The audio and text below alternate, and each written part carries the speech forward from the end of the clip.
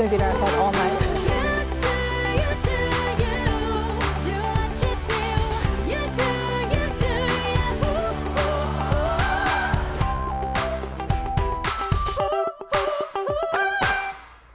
Hello, I'm Allison Kluger, and I'm a lecturer at Stanford Graduate School of Business, and I am joined by my co-lecturer, Tyra Banks. Hello. Hi. Hi, we are here for our third year teaching this really special class that we call Project You, have creating and extending your personal brand. We have 25 amazing students who've worked for close to two weeks to come tonight and present their personal brand pitch. And throughout this course for two weeks, they have been assessing, differentiating, learning how to broadcast, and also learning how to create a narrative of what their personal brand should be. We also throw in a little bit of visual branding so that their words can match the look. What do you think? What do you think about the first week and a half that we've had? I, I every year I'm always like, oh my gosh, I can't believe the the journey that our students have been on and where they've started and where they are today. And even just walking backstage and talking to them, like they seem like energetically nervous, not nervously nervous, which is a good thing. Yeah. And I can't wait to see. I can't wait either. And what's funny, Tyra, is the first day when we tell them they're going to do this as one of their final projects, the look on their face. They're like, It's I'm like not going to go on live Dear TV. cotton headlights. and we both say to them, you are going to be ready and you're going to do great. And I have so much faith in this group of students. They are Mm-hmm. fantastic. And they're just the loveliest group of students, aren't they? With beautiful stories, Yeah. beautiful stories of sharing, vulnerability, strength, triumph. We're going to see it all. And so our goal is that for them, for them is to come out and in a minute and a half or so, tell us kind of who they are, what they believe in, what they want to do, what their passion is, and what differentiates them. And they're each going to have a different story to share with us. And that's how we're going to spend the evening. Mm-hmm. So I think what we're going to do is we're going to welcome our first student. Let's welcome Victoria. Victoria. Yeah,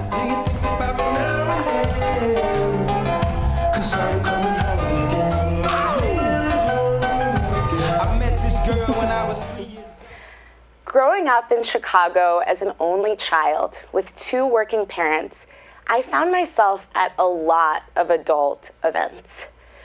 In these moments, my pen and my paper, they became my allies and my consistent friends. Through drawing, I could imagine I was anywhere. I could create new worlds and explore my creativity. Through drawing, I learned the power of coloring outside of the lines. I grew up and I worked in the art world, working with incredible artists who were doing their moonshot projects. A neon Stonehenge in the Nevada desert, the first artwork sent into outer space. These projects were incredible, but I also realized that the art world is really small. And for a lot of people, it's intimidating, it's scary. Yet, color, texture, shape, these things are things that we all understand, that we all you, that can inspire all of us. They are things that really give us emotion. And so, if you think about color, think about the last sunset you saw as a painting, as something with orange and yellow and pink across the sky. Or thinking about texture. When was the last time you were on a trampoline and the cords stretched across your feet and supported you before you jumped? Or even the shape of a building casting a shadow across you. All of these things cause feelings that we all know and live. Art is a part of our everyday.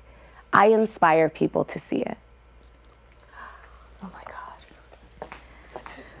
You know what I love about Victoria? Since she came into our class, she looks like an artist. She's full of color and she dresses the part. So her visual branding is right on point. right on point. I love the sound of Victoria's voice. I can remember Victoria's first submission video Yep. that she did for our class, and I found that she had great content, Yeah. but was so soft. Tonight, oh my gosh. I know. She shined, she was powerful, she took us on this story journey. And now I'm very intimidated by art, but I'm a little bit more interested in it because of what she said. Yeah, and I feel like I want to notice things more. Yeah. She did a great job. Yeah. All right, let's welcome our second student. Welcome, David. Don't got you slipping up. Look how I'm living up. Police be tripping up. Yeah, this is America. Guns in my area. My area. I got the strap. There was a commotion going on downstairs outside of my apartment uh, one evening. I remember walking up to the window, looking out to see what was happening. When I looked out, I saw a bullet fly right past my face, just a couple feet away. I stepped back, terrified, but sadly, not very surprised. You see, this kind of violence was far too common in my neighborhood. And sometimes I would think back to the days my mom and I were homeless and, and question if we weren't better off then. So, fast forward to today, and I'm just a couple months away from graduating with a Harvard MD and a Stanford MBA. Nothing short of a miracle. But what sets me apart? I'm no better than any of the other kids on my block. I was just lucky to find people that cared. And that's a recurring theme you'll find with stories like mine. We just needed care. And I believe that our healthcare system has an important role to play in providing this care. Violence is a major public health issue uh, and is the leading cause of death in young Americans. It's actually the number one cause in young black Americans specifically.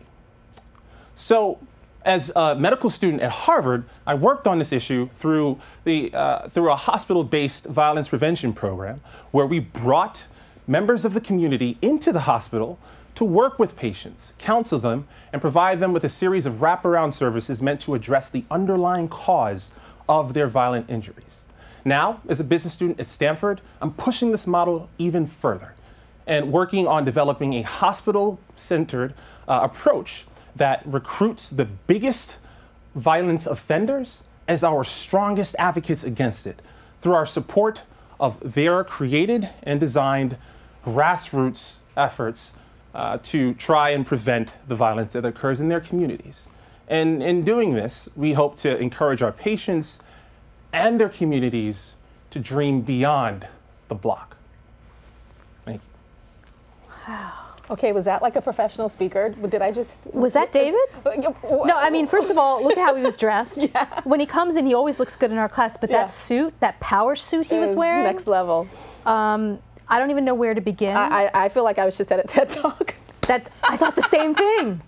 There was so much power and Yes. passion behind what David just said, and we know his story. Mm-hmm. What makes it so strong is his desire for change comes from a very real place in him. Yes. From growing up, from witnessing things, and so you know he's going to make this change Mm-hmm. because he's so authentic. And because he, he comes from a place kind of of pain and reality Yeah. and wants to make this world a better place. And talk about art. Victoria talked about art and seeing the world in pictures. And David was painting the picture of his life and where he came from. Did it so beautifully. I was there. Yeah. I was right next to him when that bullet was flying. That's how much he painted it in a way where I felt like I was there. I felt too, and honestly, from beginning of class to right now, he just hit it out of the park. I agree. His use of gestures. I agree. How he, it was just fantastic. So proud of him. Okay, we're going to move on. Let's welcome Allison. I want something just like this.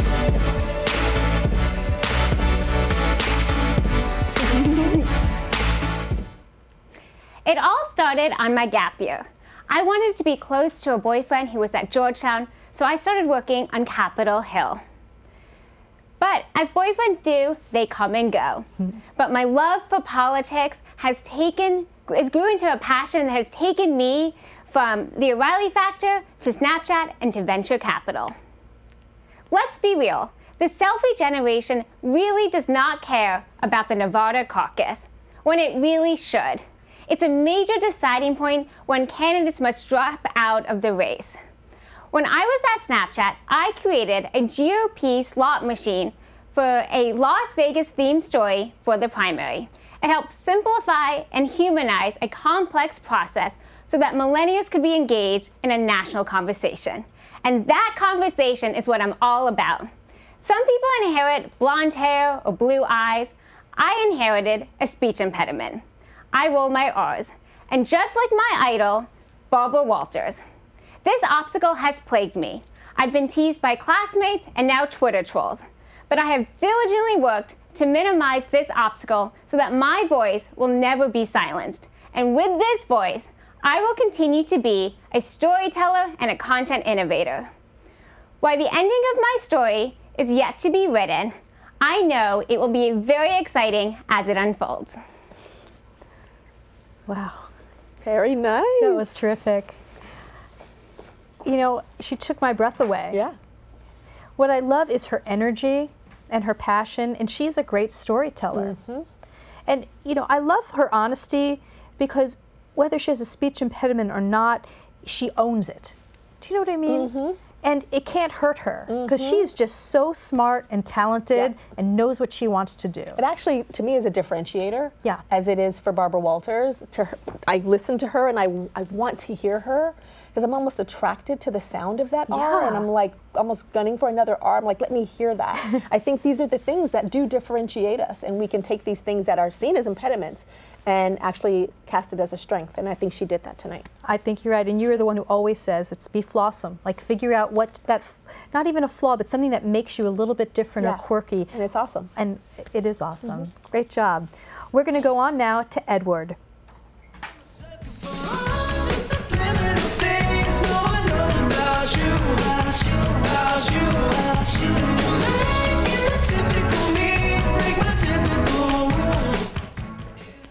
Hi, I'm Edward. Soon after I began my investment banking career, I became an angel investor. I met these two great entrepreneurs, but they were suffering so much because they just didn't know how to run a company. I helped them, and this is how my journey started. I failed a lot. I failed on my startup number one, and I also failed on my startup number two. I was devastated, but I didn't give up. Finally, I saw a feeble light coming out of the darkness. Recently, I helped a startup raise capital, build teams, and implement sales strategies. We were very successful. The company grew from a small shop of four people to a very successful company, now hiring more than 30 people. I'm proud that I didn't give up, and we made a great company.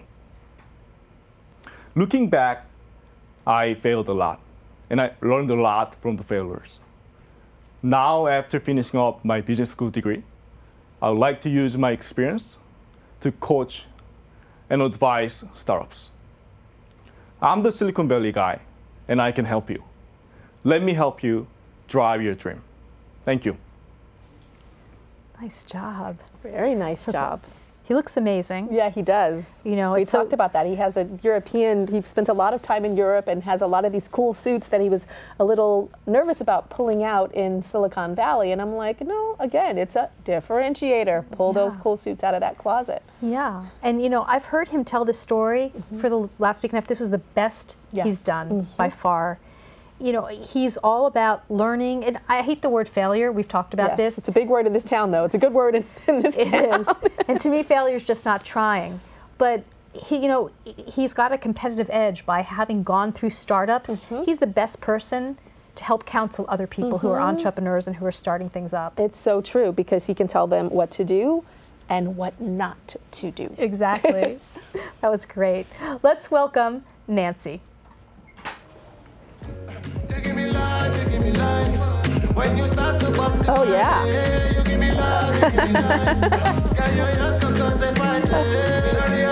I oh, realize. Hi, I'm Nancy, and I love to live life out loud. From the necklaces I love to rock to the melanin I proudly wear on my skin, color and vibrancy is such a huge part of who I am. But it hasn't always been that way. I was born with a disability in my arm and my spinal cord called Klumpke's palsy. Before I even knew my name, doctors put limits on what I could achieve when they told my parents I could never live independently. But I refused to believe that. and I rebelled. I saw how vibrant I could be, and I grew a passion for helping other people see their own vibrancy through photography. Photography has shown me that I'm so much bigger than this body, and it's allowed me to connect with people in deep and intimate ways.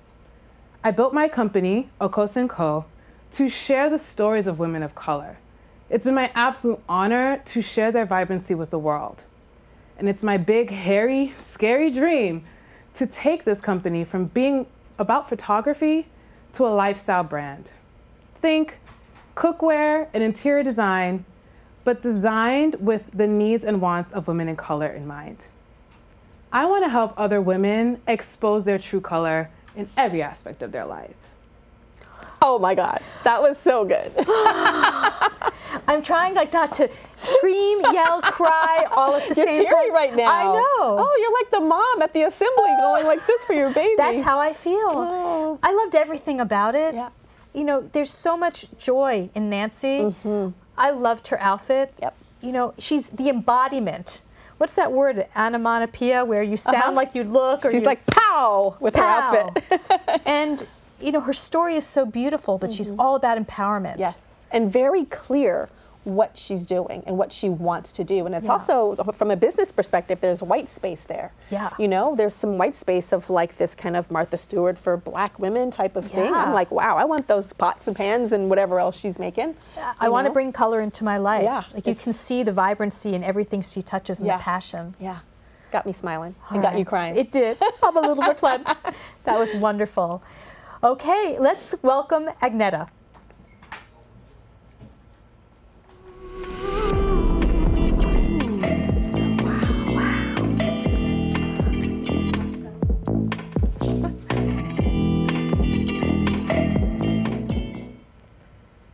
Hi, I'm Agneta Venkatraman. I'll never forget the moment in 2013 when I walked into a brothel. There were sheets everywhere, it was dark, and I was surprised to see little girls' headbands, little girls' toys. And I was like, what is this? I didn't realize that girls were being trafficked in my own city, in my own backyard. Something wasn't right. I couldn't comprehend it, and my world came crashing that day.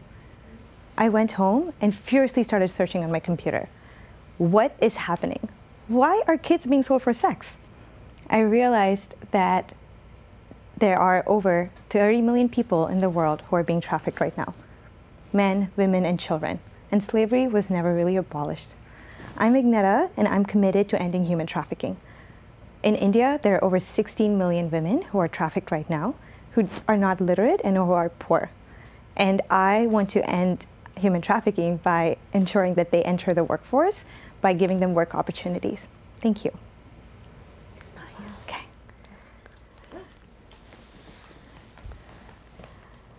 Such a beautiful message in a mm-hmm. beautiful package. Mm-hmm.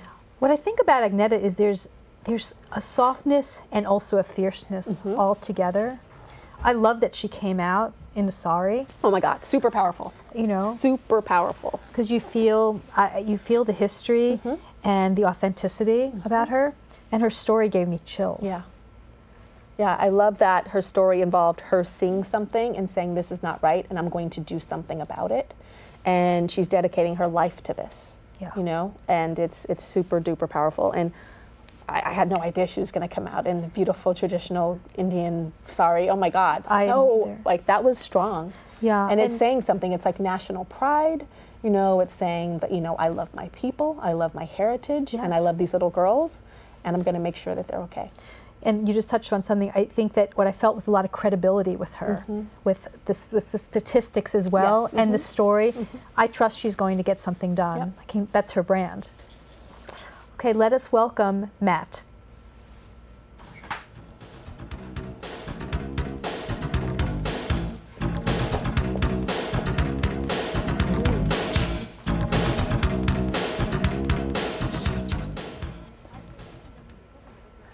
When I was 10 years old, I hopped in the back of the family station wagon, and my parents looked back at me. They were very concerned. Apparently, I hadn't been yelling enough at the other children to pass me the ball. Most of the game, I didn't even look like I knew where anything was going on or was, like I was even paying attention. I mean, we saw you walking. The horror. Do you need some help?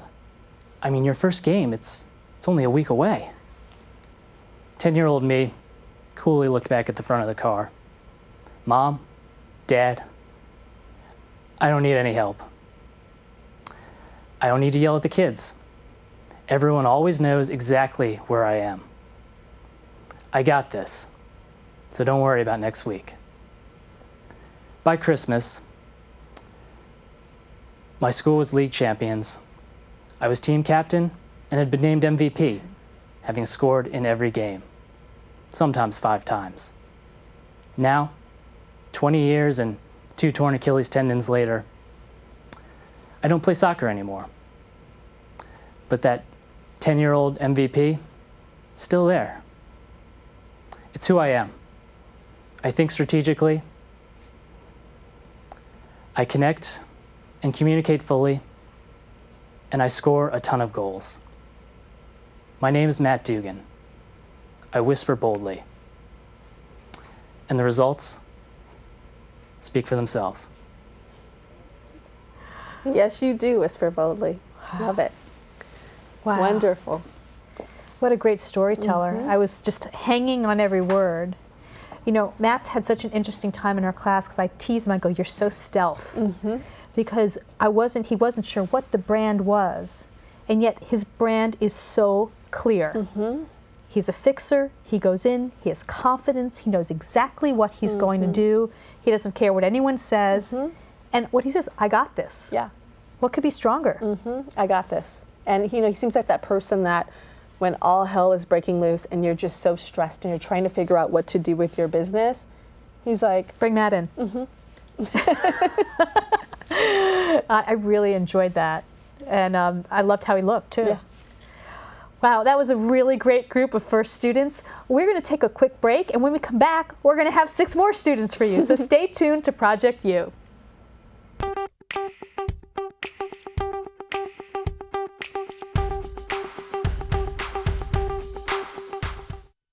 Are you a woman that's looking for natural looking makeup that's good for your skin? If you are, then chances are that you're a Harvey girl. Harvey Helms Beauty is hypoallergenic, fragrance free, paraben free, and cruelty free. It's for all women everywhere, with a diverse shade range and skincare, color cosmetics that make you look beautiful.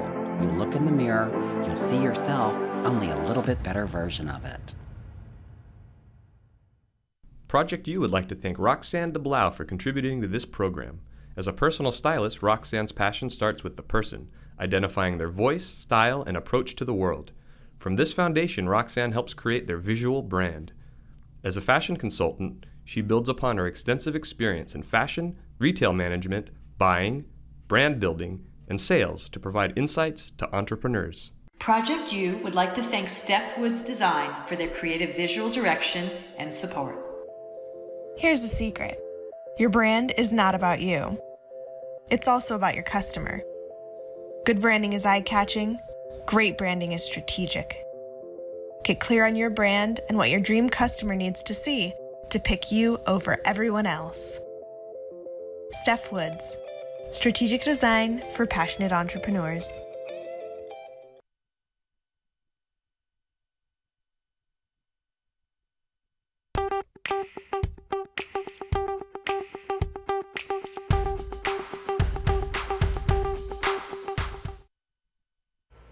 Hello, welcome back. I'm Allison Kluger. and I'm Tyra Banks. And we're here to present a special show tonight, which is based on our course at Stanford Graduate School of Business called Project You How to Create and Extend Your Personal Brand.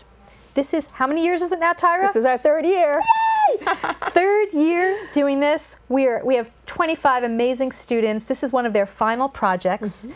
After close to two weeks, they have been practicing what their personal brand pitch is, which is basically figuring out how to tell somebody what they stand for, um, what they want to do with their life, what their differentiating factor is. And then we throw in a little bit of visual branding so that their message kind of matches what they're signaling with their look. And we've already seen the first batch. What'd you think? Oh, super impressed, super proud. Too. Yeah. So let's welcome our second batch of students and let's welcome Maria.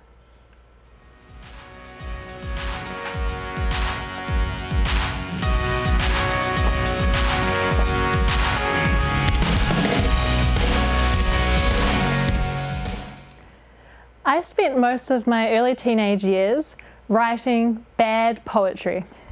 I'd spend my summers crammed in a van with my five brothers, driving down the roads of New Zealand, my home country.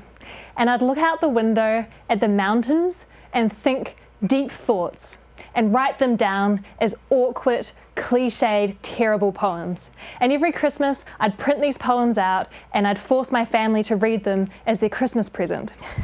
And perhaps inspired by this Christmas present, one year my 11 year old brother handed me a piece of paper, and on it was a poem.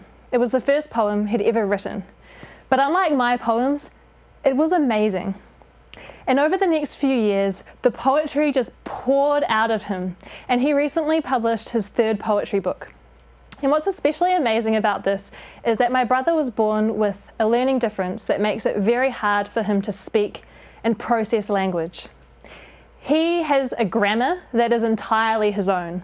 I would give him feedback on his poems and I'd say, Bro, you got to put a full stop there, and that needs an apostrophe, and that is not a word. But over time, I came to realize that because he had started with no language, he had to create a language that was entirely his own. One in five children has a learning or developmental difference, like my brother. And I wonder what treasures are stored up in those minds.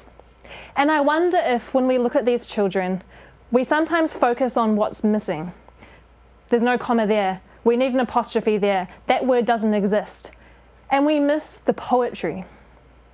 I want to help kids with learning differences to build confidence in their way of seeing the world so that they can show us a whole new way of seeing the world. And I'd love to speak to anyone who shares that mission because if thinking differently was not just tolerated but celebrated, I wonder where that would take us. Oh my gosh. I think I need tissue. Oh my gosh. That was unbelievable. Yeah. In the most fantastic way. Oh yeah. I'm so moved. I, she's going to do great things, but Mm-hmm. the way she told her story was so beautiful. And we know the journey of her getting to telling the story this way. And we gave her some feedback, what was it, a couple days ago, yesterday. Uh, She took the feedback and ran with it and flipped it and like went bam. And, and she right? kept this quiet. Like we Yeah. had no idea what she was going to come out with. This was unbelievably This is- this fantastic. was fantastic. Her brand is so apparent Yeah. what she's going to do, but her Mhm. her origin story is so powerful that only she can have it. Yeah. And it comes from such a place of truth. Such a place of truth. And she created a hero tonight in her brother. Oh my yeah, God. it was fantastic. And she looked gorgeous. Yeah, she did. I wanted that shirt, but that we'll talk about later. Okay, I, I'm still. whew. Let's welcome Emily.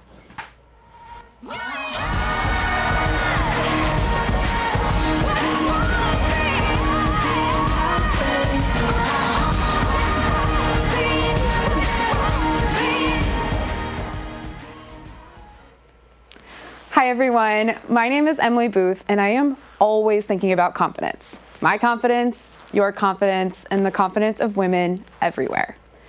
When I was becoming an adult, I had this vision of what a successful woman should be, what she should look like. And to me, confidence equaled perfection. I was fixated on this ideal image of success, and I started to lose who I was and the things that made me special. I was so obsessed with being perfect that I used an eating disorder as a coping mechanism to control situations in which I felt like I wasn't perfect. And the more that I tried to control my insecurities, the more unconfident I became. But overcoming this battle has provided the most powerful internal mirror. I now have peace and clarity about my appearance and my personality and my strengths. And to be totally honest with everyone, I still have to maintain my confidence every day, but I am so comfortable with who I am. I'm comfortable with my sarcastic sense of humor. I think I'm hilarious. I'm comfortable with how obnoxious I can be when a Colorado football team wins. And I am comfortable with my five foot four, curvy, beautiful body. I learned from my own self doubt how quickly confidence can be constrained, and I wonder how many other women are letting their insecurities get in the way of their goals. I want to combine my passion for confidence in women with my business mindset to create a lifestyle brand, one that empowers women to break down those barriers. Specifically, I want to create products that women can connect with to be their best, most ideal selves. I have a secret for you all. Confidence is contagious, and my mission is to spread it. I love those She's a pro, isn't Yeah. she? Uh huh. I loved everything about it. First of all, she embodied confidence. Mhm. Look at her. That ass biker jacket. Yeah, but that beau- leather jacket. beautiful blue Blue, dress. mhm. Her energy was fantastic. Mhm. She's so inspirational. Mhm. And you look at her and you're like, everything about her Yes. is confident and beautiful, and yet she shares the pain. Mhm. And she's she you feel like, you know, everybody has something. Yeah. It's a human personal brand. Yeah. Absolutely. It's it's um, it's it, perfect imperfection. Yeah. Yeah. Which is like speaks to so many women, almost every single woman on earth. And that's what it is. She's so relatable Yep. and empowering at the same time. Mhm. It was a great job. Let's welcome Jim.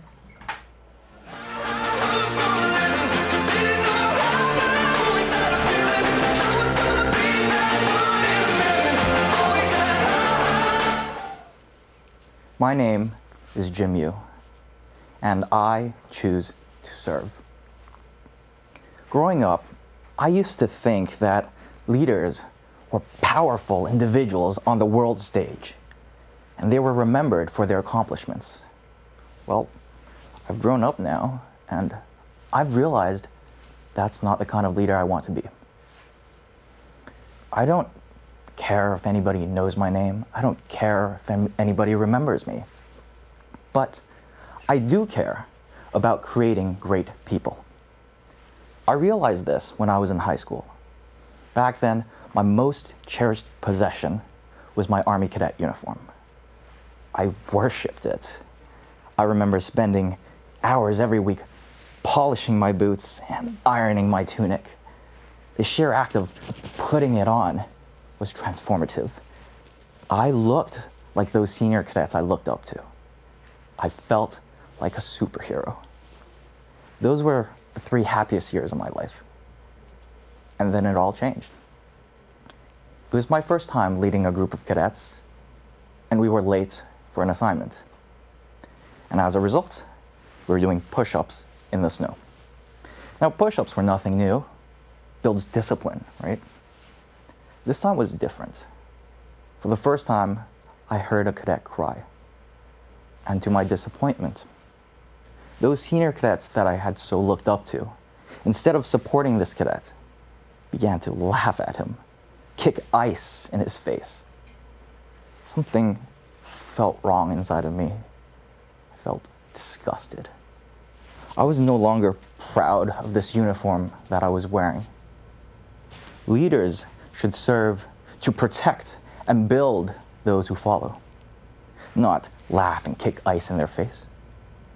I stood up, grabbed the cadet's arm, and took him to safety. And following that incident, I de- dedicated the rest of my cadet career to changing the way my beloved Corps looked at leadership. I've carried that lesson with me since, and every morning I wake up excited. Not because I want to build great things or great companies, but, be- but to build great people. I am a leader, and I choose to serve. TED Talk? TED Talk. and I have a son, and I'm just thinking, God, if my son could be any portion of who he is, right? Yeah. Just that, that is beautiful.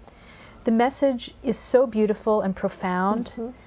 but how he delivered it, oh, you know, there's there's such truth in what he said, but Mm-hmm. I was hanging on every word. He is a master communicator. Mhm. So what that tells me is that for his brand, he is going to be able to influence oh yeah a lot of people in this world. Scores of people. Yeah. Millions of And people. he's going to use this power for good. Yeah. Because he's so trustworthy, Mm-hmm. he's credible, he's powerful, and he says it quietly with strength. Mhm. And, he, and when he's speaking, he almost speaks in the story about the cadets and the negativity that was happen, happening, almost like sense memory, like he was taken back to that. It's almost like he started to shake, his voice, you know, there was. Did, did you feel Yeah, that? Like yeah. he was back there was- in it was that genuine. snow. It was happening as he was talking about it. That's a gift in speaking and being able to do that and recall that from an emotional standpoint. I, I So, well loved it. done. Let's move on to Ellen.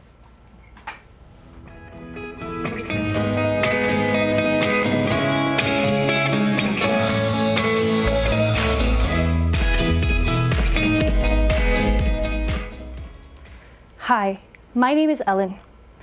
When I was young, I was told I couldn't be a model because I wasn't pretty enough. I started to believe that I weighed too much and that my face was not beautiful enough. I have suffered the consequences of not being considered beautiful many times. I still remember standing in the canteen line when a guy I didn't know walked up to me and told me I was ugly. He walked back to his friends who were all laughing as well.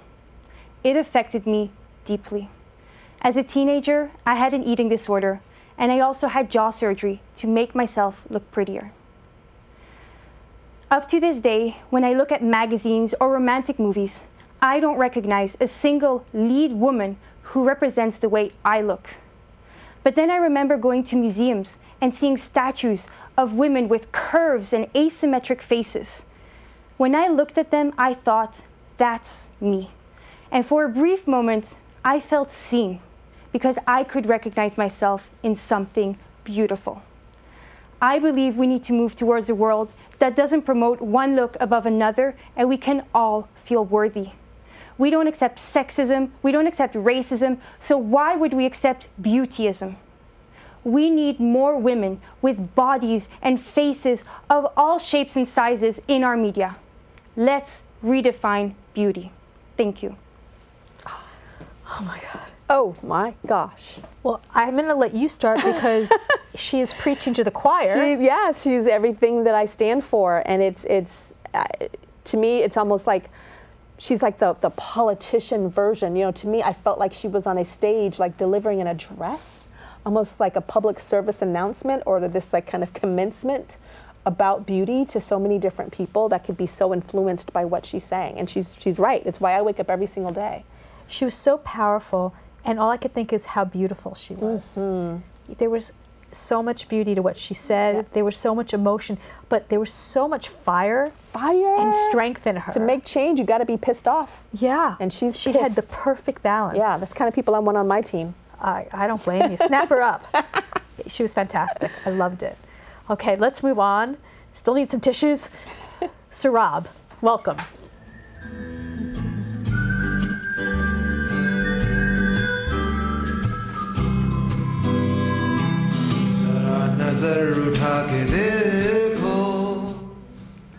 It's 2016, and I'm with Google managing large partnerships for them.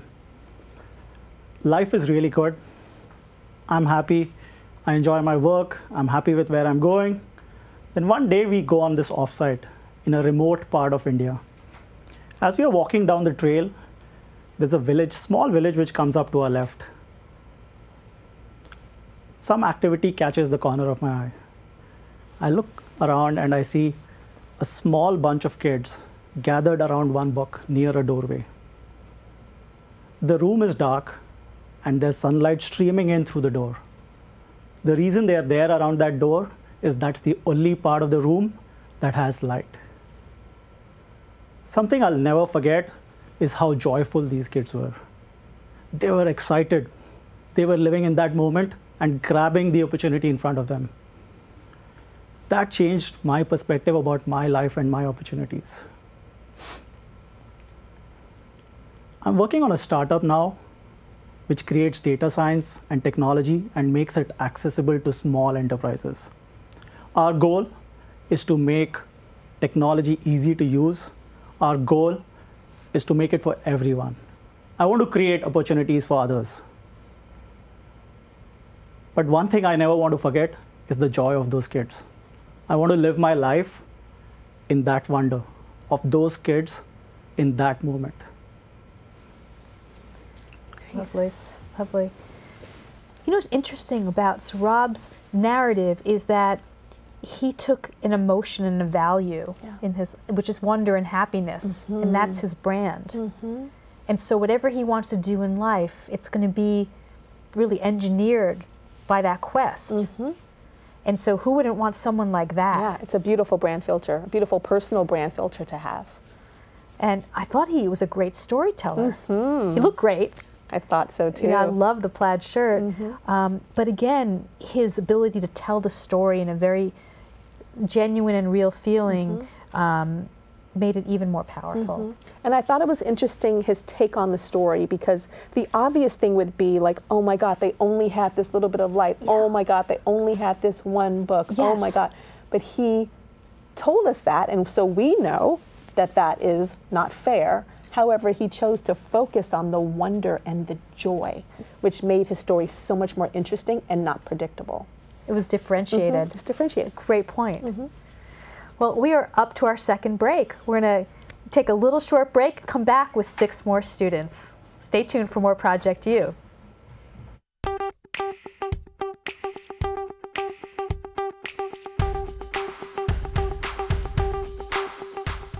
Our full service salon offers precision haircuts, extraordinary colors, and excellent service.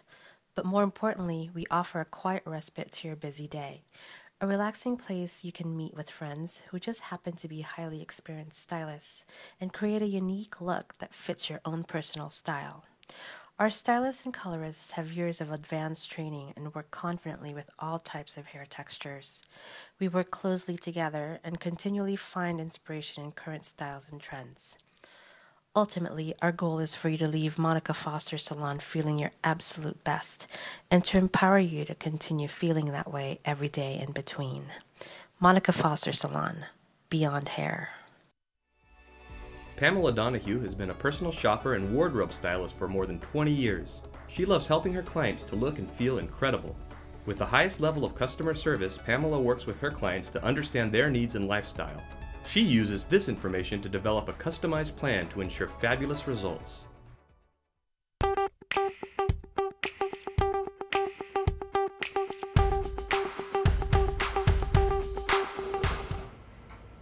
Hello, welcome back. I'm Allison Kluger. I'm a lecturer at Stanford Graduate School of Business, and look who I'm with! Tyra Banks! Yay! Another lecturer. I, this is my co-lecturer and co-creator of Project You, creating and extending your personal brand. And this is Tyra's and my third, Third year. year. and um, this is one of our final prod- projects for our course. 25 students in our class come here and they present their personal brand pitch, where they tell us who they are, what they believe in, what differentiates them, what they stand for, what they're putting out in the world. And they're doing an amazing job. They're doing such an amazing job, and they've got Allison crying, and they've got me smiling so hard that when I smile really hard and get excited, the back of my head hurts a little bit. It's like a good pain. So we're both like we are we're, we're feeling We're all these feeling this. emotions Exactly. we're with our students every step of the way and it's been such a treat and we're really proud of them for the first week and a half they've really been building to this moment and telling their stories so let's get right at it we'll Yeah. welcome our third group of students let's welcome sophia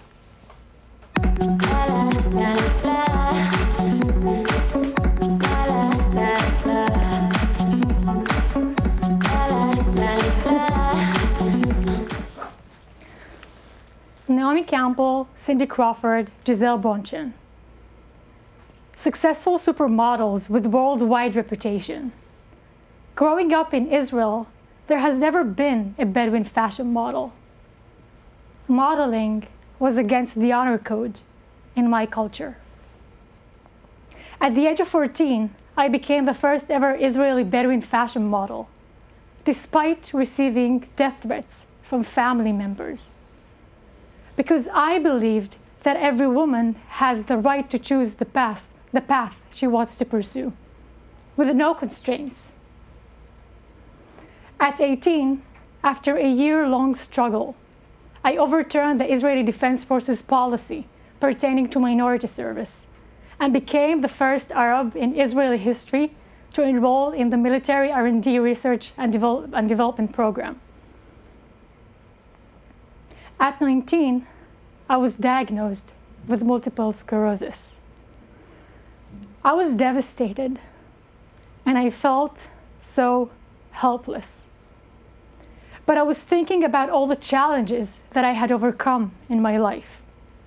And I chose to live my life to the fullest because I power through everything.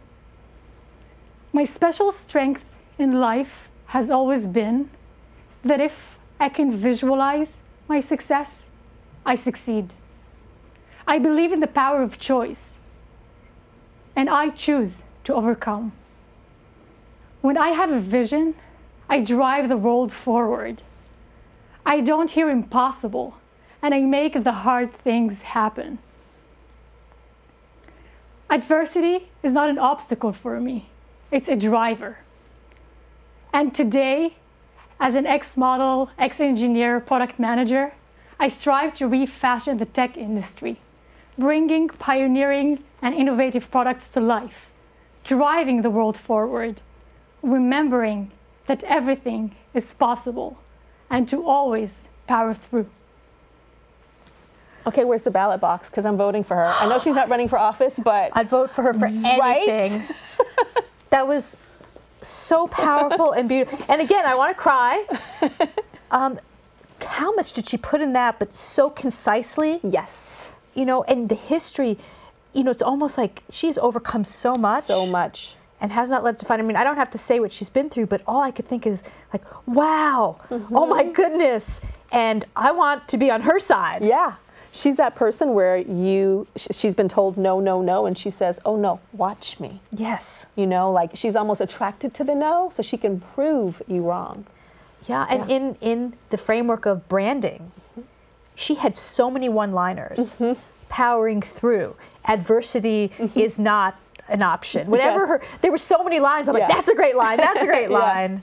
Um, but her brand was right there. You know what? Whatever you're going to get, she's going to succeed. And I think she's going to run for office one day. I don't know why. All I just we'll feel vote it. together. Vote for Sophia. Okay, let us welcome Tanner.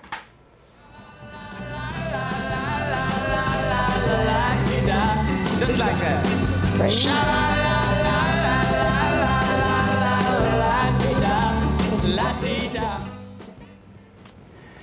I have always been really good at catching reptiles. To this day, what I know best in this world are Puerto Rican lizards.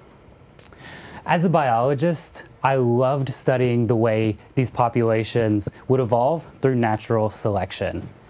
The strong pass on their genes, and the weak, they don't make the cut. A few years ago, I left biology to pursue a career in business. In the business world, suddenly, I realized that I didn't make the cut. You see, in the world of elite corporations, masculinity still holds strong. And I'm not masculine enough. I like men. I'm not afraid to ask for help. I don't have big muscles, nor do I want them. Over time, I've realized that toxic masculinity is a lot like a species evolving through natural selection. It is desperate to survive and to maintain power, so it fears people like me, people who dilute it. It wants to cut us out. But guess what? I I survived. A lizard, when it survives, passes on its genes into the gene pool. And likewise, I am going to pass this on into the world of elite corporations. Culture has told me how to be for far too long. But like the animals I studied for all those years, I'm going to shed that skin. Here I am, world, bringing my full self.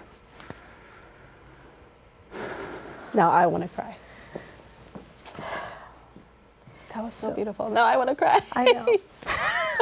Hot mess. There's a moment when you see a thought leader born, mm-hmm. and that was it. Yeah. We just saw the birth of an amazing thought leader mm-hmm. whose brand is so clear and strong, mm-hmm. who's so powerful and moving that you just are astounded. Yeah. And the beauty of what he just said. It's bigger than this whole course. It's bigger than anything. Yeah, I just feel. It's, oh, it's, uh, the, it's another politician. I'm sorry. I ju- in a good way. I'm saying like, and, I, and when I use that word, I'm not necessarily saying politics. I'm talking about leadership, leading a tribe of people behind you, getting people so excited about your message that they want to follow and also spread your message. We talk about being the Pied Piper in, in class. Yes. And I'm seeing this time and time again tonight. And Tanner just brought me to tears with the leadership of the tribe that I feel is going to follow him. I just feel privileged that I was able to to witness Yeah. that. Okay, we can't take a cry break. We're going to move on. Deep breath. Let us welcome Ray.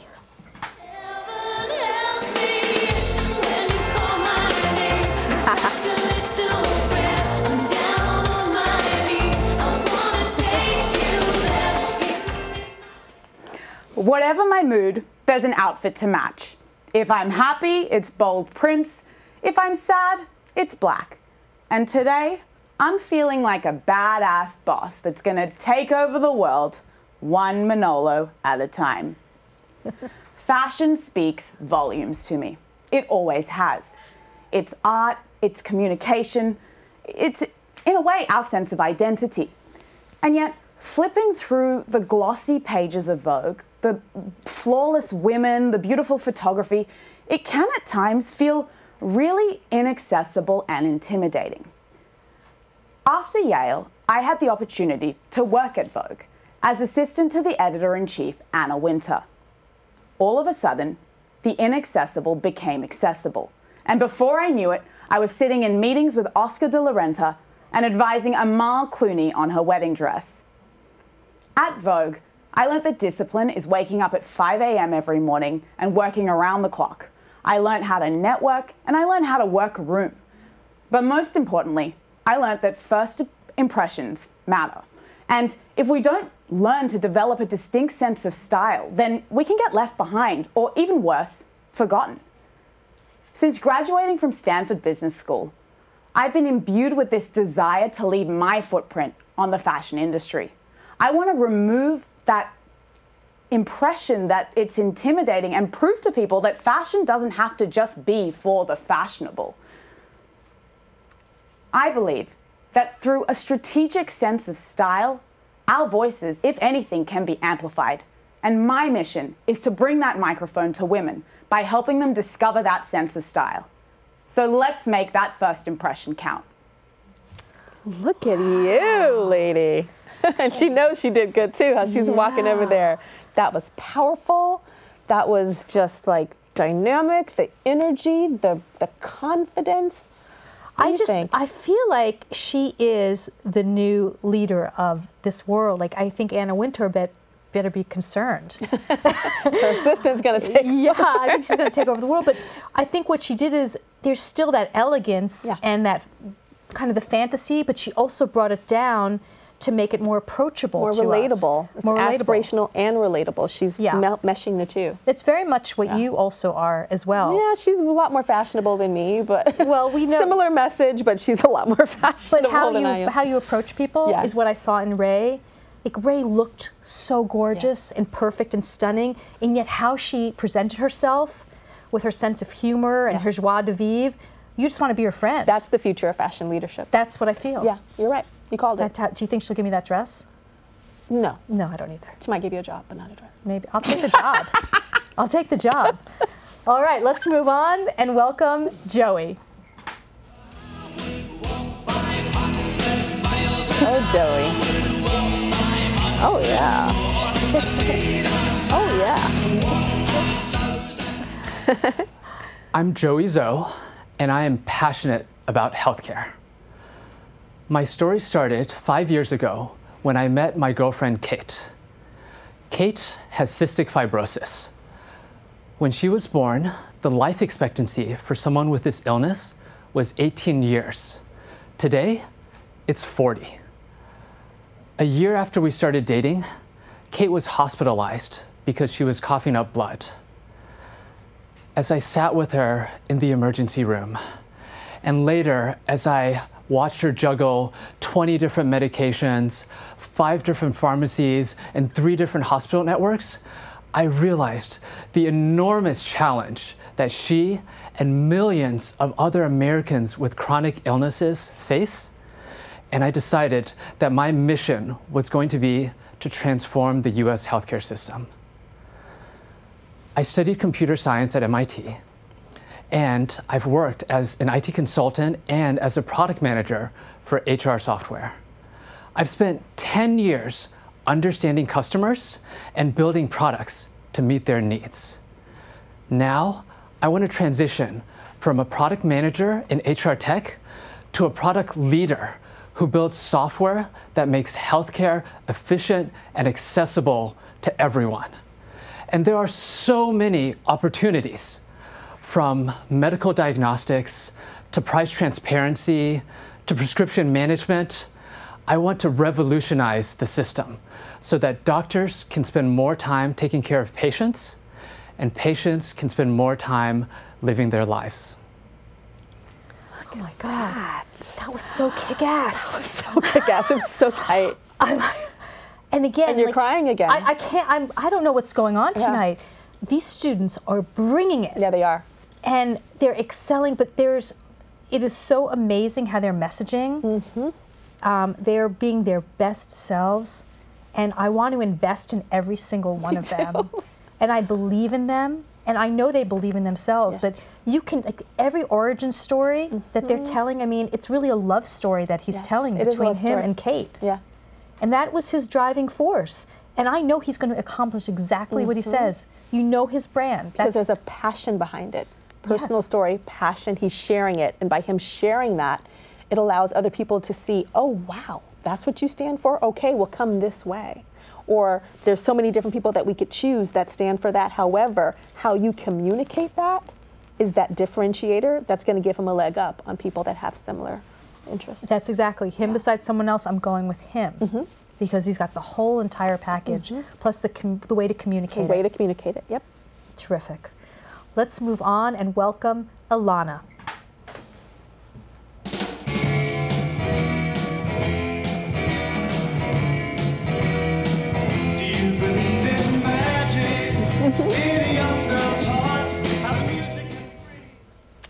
Once upon a time, a young woman moved to New York City with big dreams of becoming a writer. Finally, she landed a job writing for a men's lifestyle website. Her dreams had come true. Or had they? Eager to understand her new audience, she soon discovered that she didn't have one. No one was reading what she wrote. Now, of course, I am this young woman, and this story represents a powerful insight into my passion for storytelling. I believe that content is communication and that it should reach as many people as possible. Because of this, I decided I was going to need to learn how to become both an artist and scientist in storytelling. This led me to a job at the Huffington Post where I was able to analyze stories with mass appeal. I steeped myself in the data and I innovated new content formats. I measured everything from page views to scroll depth to social shares. Finally, my work was generating tens of millions of views and shares online. Combining creativity with a keen analytical mind, I am both an artist and scientist in storytelling. I believe that the stories we tell each other matter, and be it a creator, a company, or a brand, my mission is to make these stories heard. Wow. She is so right on the mark oh my God. for where you need to be right now. Oh, yeah. Um, she's cornering the market in an area that is so important, like how to communicate and reach people. I actually didn't understand a lot of the ways that she uses content, and I'm a content creator, you're a Mhm. content creator, but you know, she was able to express her brand so Oh, yeah. beautifully. And her passion, I mean, storytelling has gone back to the shamans, but she's bringing it into the modern world Mhm. and saying, I can, I know how to adapt and I know how to conquer this new frontier. Yeah. I, I feel like there's a lot of value in what she's talking about. And when she is needing to share that story with potential people that she is hiring Mhm. or, or teams that she is leading, and she talks about the creative, but the science, I mean, Yes. that is like, I just think about, I want to surround myself with people like that, right? To crack the code and the algorithm and the words that search engine optimization and all of that. but the creative too is a rarity. Yeah. And she showed that she is a gem Yeah. and that she's a diamond. She did exactly what you always say in our class. She really differentiated herself. Mhm. And she was so clear. And I loved her dress. Yeah, me too. And that sparkly belt. Oh my God, we're at a break again. Okay, I don't want to stop, but we're going to take a short break. And when you come back, we're going to, we're going to continue with Project You.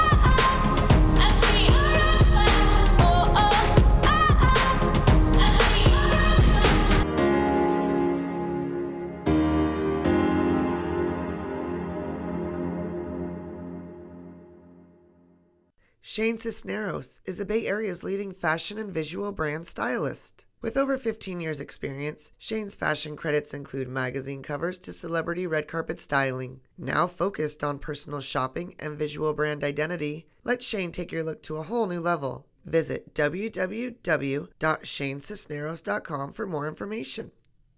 Project You would like to thank Brenda Hamberry Green for contributing to this program. Every day, Brenda works with gorgeous professional women of all ages, shapes, sizes, and walks of life. Beautiful women. But we must be beautiful on the outside and inside. That is when we are truly powerful. That is when we do things we are meant to do on this earth. Brenda is here.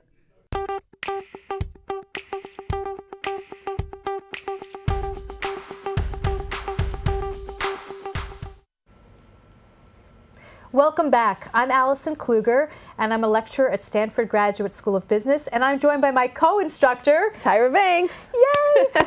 Tyra and I created a course called Project You, which is extending and creating your personal brand. This is our third year. And we're so excited because this evening is kind of a capstone to our two-week course where 25 students come and they present their personal brand pitch. And they have been doing so great. They've been doing so, so great. What are the elements that they need to show us? Um, storytelling, um, vulnerability, um, goals, objectives. Yep. Yeah. And, and differentiating factors. What they have to do in a minute and a half is tell us what they believe in, what makes them special, how they're different from everybody else, and what they stand for in this world. We've been seeing some great students. So without further ado, let's welcome Malcolm.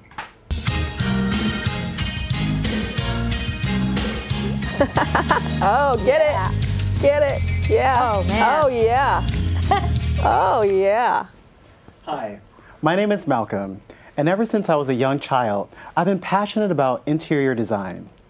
When I was five, on Sunday mornings before church, I would wake up early in the morning, excitedly turn on the television in my small one bedroom home that I always shared with my mom and grandma, and watch all of the real estate listings that were happening that day in awe. When I was 12, I declared, I want to be an interior designer when I grow up. And I was heartbroken when I heard the reply Interior design is for women. Choose something else. And so reluctantly, I did.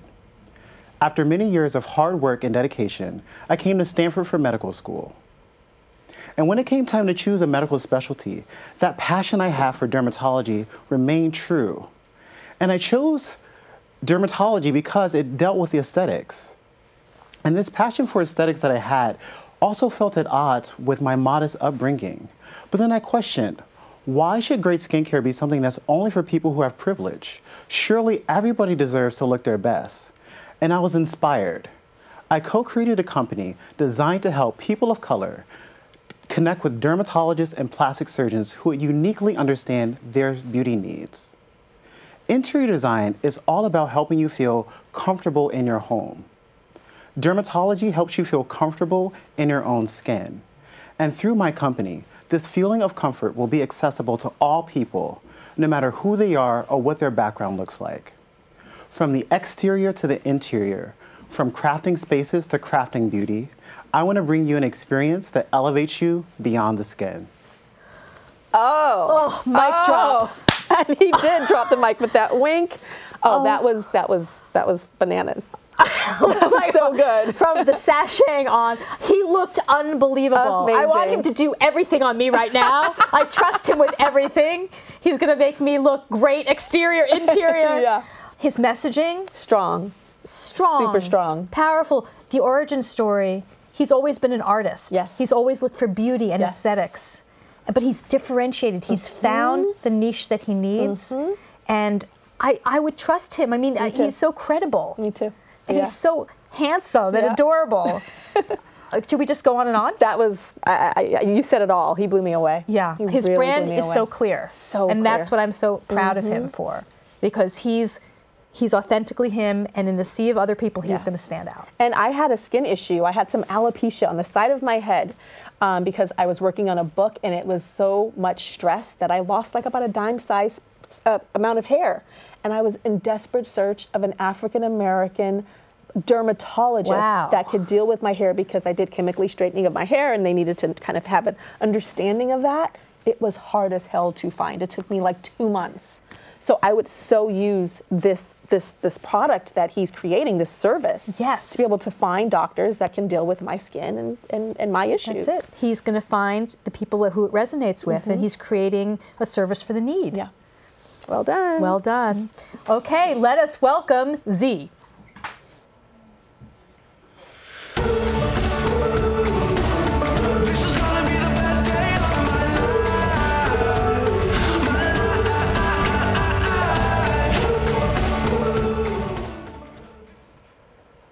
When I was young, my favorite uncle believed in tough love.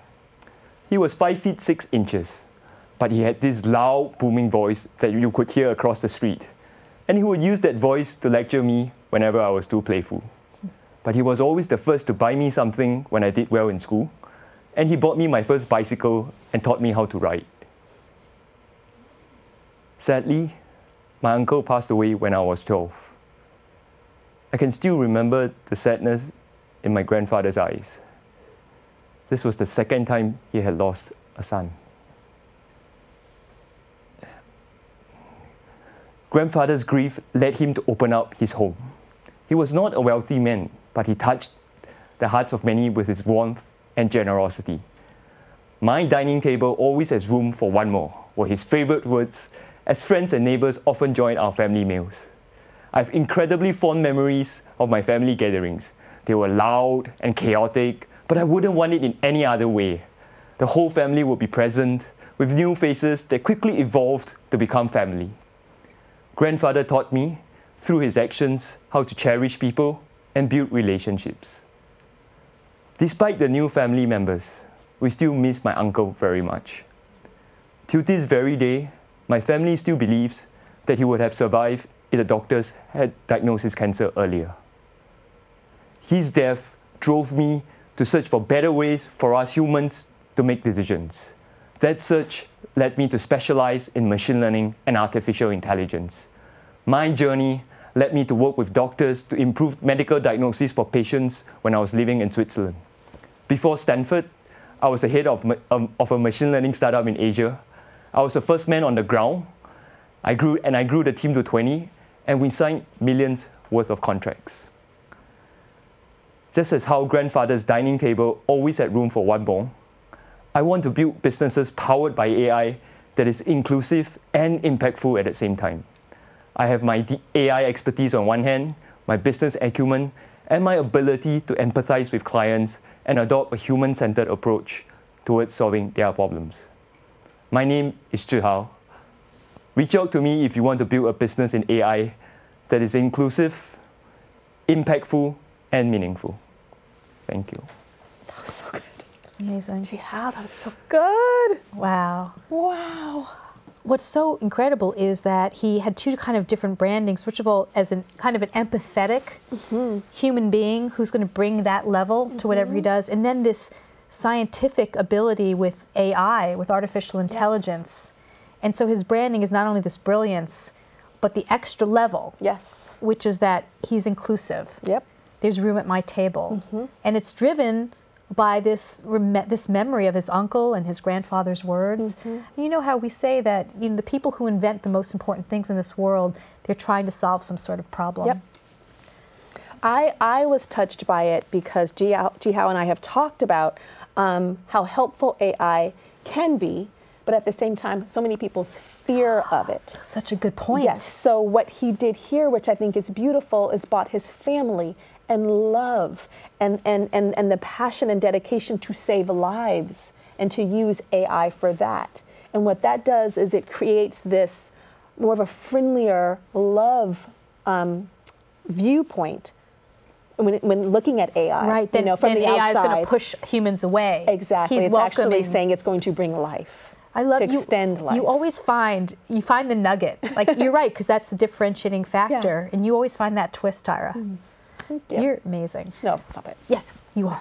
but he did a great job. Excellent And I love that point. Um, all right, let us welcome Jackie.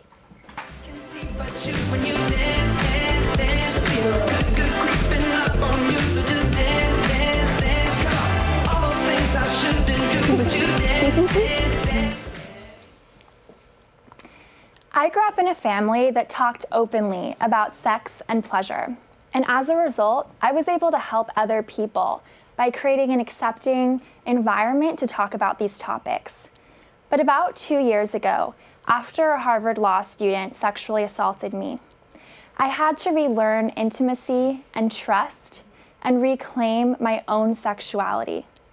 I became very passionate about creating a culture where people, especially women, can experience intimacy not as a source of pain, victimization, or trauma, but of joy, connection, and empowerment.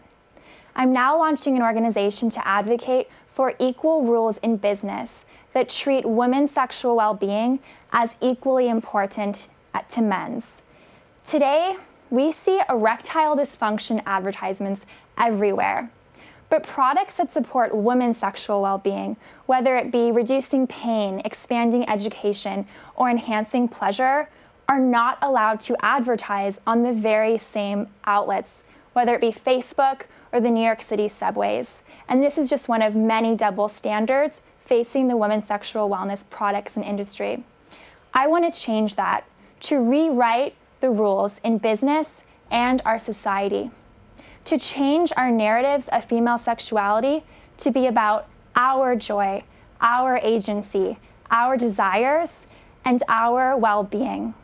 My name is Jackie Rotman, and I'm working to build a culture of intimacy justice. Yes. Yes, yes, and yes. Thank, thank God for Jackie. Thank God for Jackie. That's all I can think of. Yeah. Well, first of all, I think there's just so much education in what she's saying Yep. and so much, whoa, I did not know that. And I'm sure there's a lot of people watching now, like, oh my God, I had no idea Yeah. that you can show an ad for this for a man and you can't do the exact same thing but for a woman. So just the education alone is amazing. I, I, what I love about Jackie is that uh, there, there's a soft spoken, feminine strength that I love. Um, and, and, and I want to listen to her and I lean in. And I can see a lot of people, um, her awakening a lot of people that weren't aware of this and then turning into her tribe of people that are following and spreading that message. She's absolutely a leader. Mm-hmm. And and outside you know, outside of this venue right tonight, she's a very soft, sweet, loving person. Mhm. But in front of us, when she's talking about what matters to her, Mm-hmm. you can see her strength, her passion, and her determination that she's going to change this world. Oh, yes, she is. And I think you're right. We talked about branding, a lot of it is education. There's, there's got to be some element of, let me show you a new Mhm. way of looking at this Yeah. world. And um, I learned so much every time she talks to me. I'm so proud of her, and that was a really powerful I agree. branding pitch. Let's welcome next Chaz.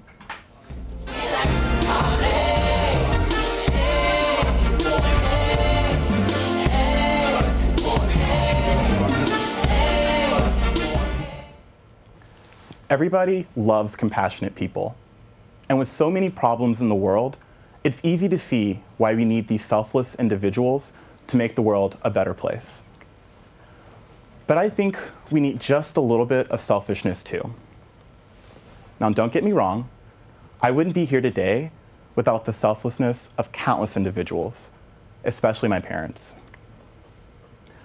I'll never forget when my mental health hit an all time low and my mom dropped everything, flew across the country to be with me at school and make sure that I got the help I needed and the care that I deserved. But sometimes being doing good can be all consuming. I've had the opportunity to work on several education reform projects over the last few years, trying to help young students have access to the same opportunities that took me to Harvard and Stanford and have let me travel the world. It feels narcissistic to say out loud, but if, if I can do something to make the world a better place, it feels like I should do that. I mean, there are so many people who have sacrificed to get me here right now. But that logic, it doesn't work for me. It's okay to be selfish sometimes. As much as we would like, most of us can't do everything all of the time. Caring about a cause or your job or even next quarter sales numbers, none of those things mean that you can't take care of yourself. There will be plenty of opportunities for early mornings or late nights but to be ready for them, we have to think about ourselves too. I will be a compassionate leader, and I'm going to take care of myself so that I'm the best one that I can be. If that is not a speech for every leader in the world that does not have balance and does not take care of themselves and is only looking at winning, winning, winning, winning, I don't Yeah. know what is. Yeah. That is. It's such a brave speech too because I think there I can't imagine anyone not relating to what he just said. Yeah. Because everybody is trying to be the fastest, the best, the most successful at the detriment of so Mhm. many other things in their life that fall by the wayside. Yeah, this could even go for parenting. Like wanting to be like a super mom or a super dad and feeling like, oh, I have to do this, but not taking time for yourself to recharge yourself so that you can be even stronger for your children. You had a great example about um, when you're in a plane. Oh yeah, the oxygen mask. How they always say, Yep. in, in case of a de- depressurization or whatever, to put your oxygen mask on first Yeah. before you put it on your child or the person that needs your help. Yeah, and you know what kind of leader he's going to be. He's all about compassion, but he's also about balance and recognizing that you need to take care of yourself Mhm. before you can impact the world. Yeah. It was really beautiful. Yeah. All right, let's move on and welcome Chaitra.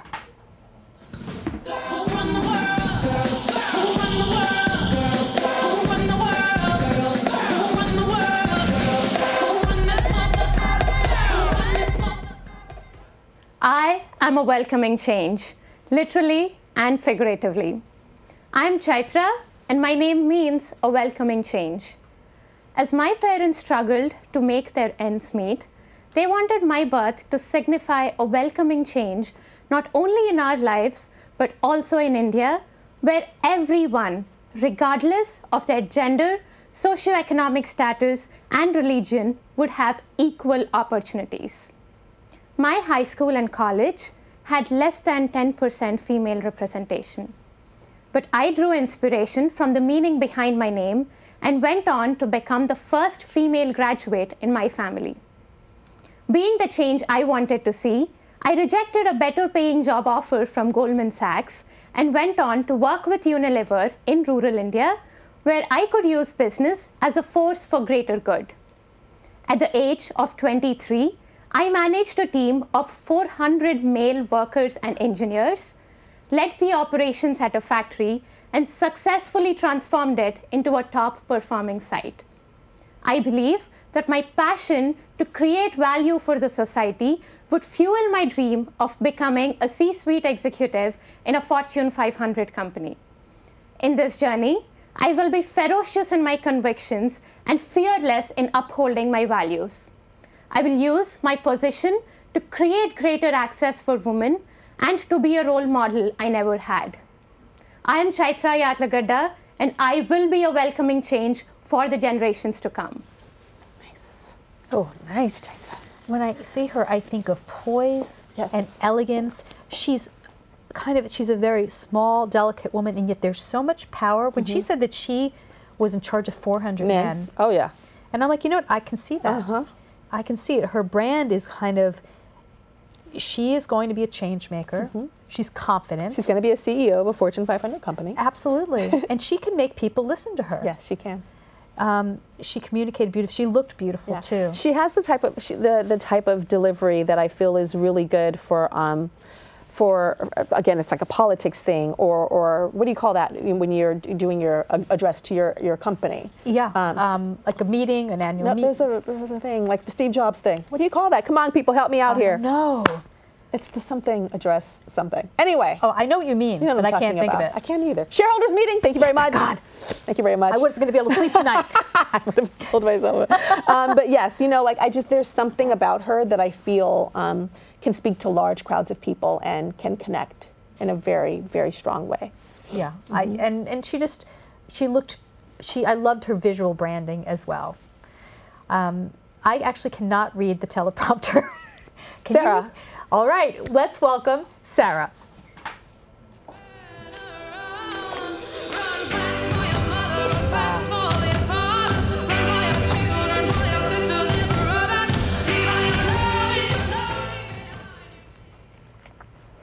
When I was 11, my favorite place to play was in my mother's closet. One day, amidst the scars and jewelry and old family trinkets, I found what looked like a police badge with my mother's name on it. Now, I knew my mom to be many incredible things, but a police officer wasn't one of them. She told me it was from her time working as an assistant district attorney in the Manhattan DA's office. And then she started to tell me stories about her time there. She told me how much she loved her job, how she was one of the few women in her office, and how judges would insist she dressed a certain way anytime she argued in front of them. Always heels and skirts, never pants or boots. My 11 year old self would listen to these stories and could only think how lucky I was to be born now instead of then. My mother grew up with black and white TV, typewriters, landlines. Surely her experiences had gone the same way as these prehistoric inventions. Mm-hmm. My first job out of college was working for a trendy startup in New York City. I was every stereotype of a freshly minted 22 year old college grad ambitious, angsty, and uncertain of my place or voice. A few weeks in, I was wearing these fantastic red and blue checkered pants that I'd bought with my first paycheck. As I walked by one of my senior male coworkers, I heard, Your ass looks great in those pants. Uh, thanks. That was it. I kept walking. It was a compliment, wasn't it? It wasn't. It was demeaning, distracting, and objectifying. It made me think that my worth at the company was tied not to the work I did, but how I looked. It has taken years and countless other incidents like that for me to finally find my voice. To proudly, on live TV, say what that 22 year old couldn't. My name is Sarah Goodison. I'm a woman, a leader, an entrepreneur, a feminist. And if you tell me my ass looks great, you better be prepared to hear a lot more than thanks. Woo, girl! I loved that. Sorry, I just had a moment and I'm teary. I, got teary. I was kind of mesmerized. Um, I, I could have listened even longer. She's an amazing storyteller. Her message is so strong. Mm-hmm. And um, I kept thinking about how poised she is. Mm-hmm. Do you know what I mean? She, um, she has so much power.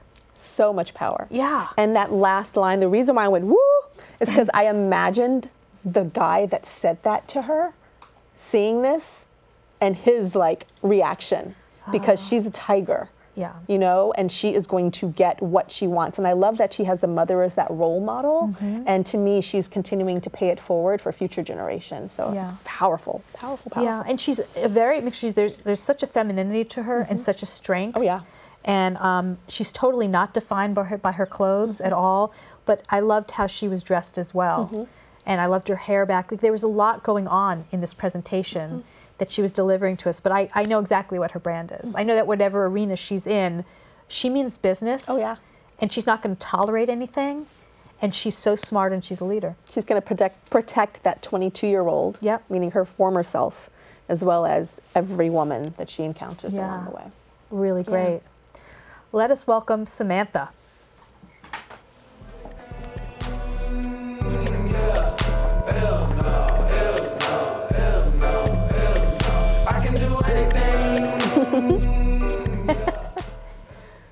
So, how does a candid, creative, cool Stanford nerd with a spunky attitude change the world, you may ask? Well, by starting a talk show, of course. But this just isn't any old talk show. This is the talk show that inspires entrepreneurial action. In every episode, I'm going to be building a business on the show. So not only will I be talking with entrepreneurs and experts, but you get a chance to see what it's like to watch a business built from the ground up.